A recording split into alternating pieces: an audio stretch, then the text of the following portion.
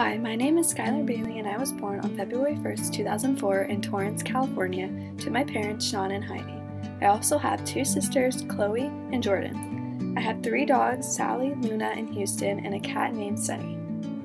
I'm leaving home for the coastline Someplace under the sun I feel my heart for the first time Cause now I'm moving on, yeah, I'm moving on. During the last four years of high school, I have been involved in the National Charity League with my mom. We have volunteered with various philanthropies such as Jacob's House, Binky Patrol, Michelle's Place, and more. I've had the opportunity to do things like make blankets for newborn babies, sort food for those in need, volunteer fundraisers, and more. I've served various roles on the board and eventually was our class president my junior year. Conceals taught me how to give back to my community and how to take initiative in leading a group of people.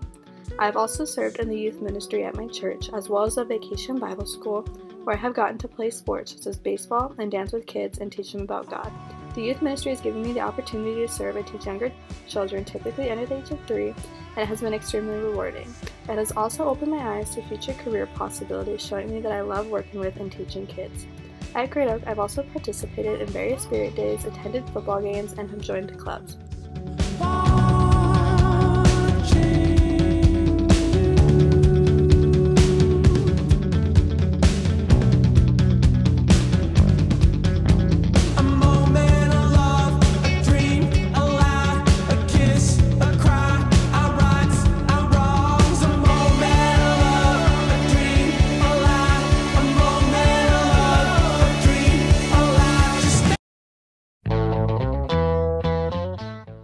Part of the yearbook staff has taught me everything I need to know about teamwork, since it is a class that doesn't work without working collaboratively with others. I've been on staff for three years, this year being an editor. I've had the opportunity to attend yearbook camp where me and the other editors work together to create the yearbook's theme, as well as design the layouts in a cohesive manner. Starting from scratch to create something as big as the yearbook is a lot of work, which is why it was vital that we worked as a team in order to put our brains together and brainstorm ideas. Being an editor, I've not only created the yearbook, but I've had to be a leader within the yearbook class. I walk around the class helping my peers with any questions they may have and providing feedback before their deadline.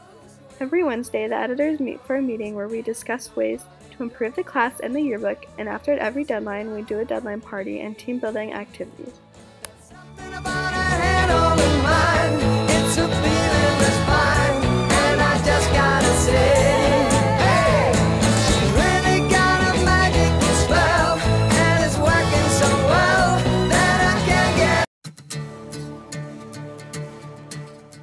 Throughout high school, I have learned that my two passions are my faith and teaching kids.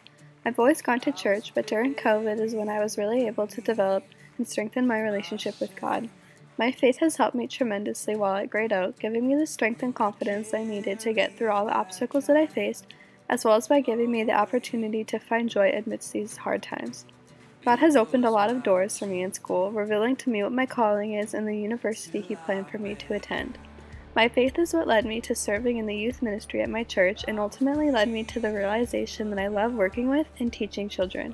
Having the opportunity to be a positive influence on younger kids and helping them develop themselves is something I find to be extremely fulfilling and I am extremely passionate about.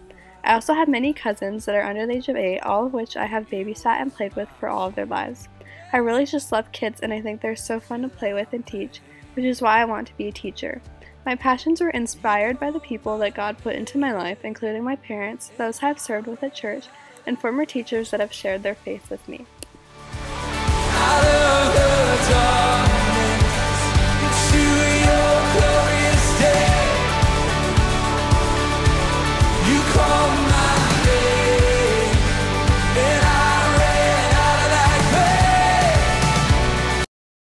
High school, I plan on attending Baylor University in Waco, Texas, where I'm going to major in elementary education and minor in religion.